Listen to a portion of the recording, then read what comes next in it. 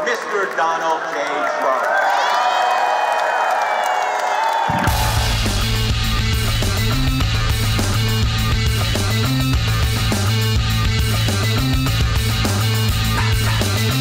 All of its 16 votes for Donald J. Trump for president.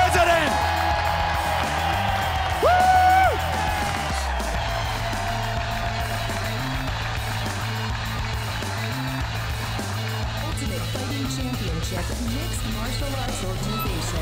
What's up, GOP? Together, we've achieved historic results with the largest vote total in the history of the Republican Party.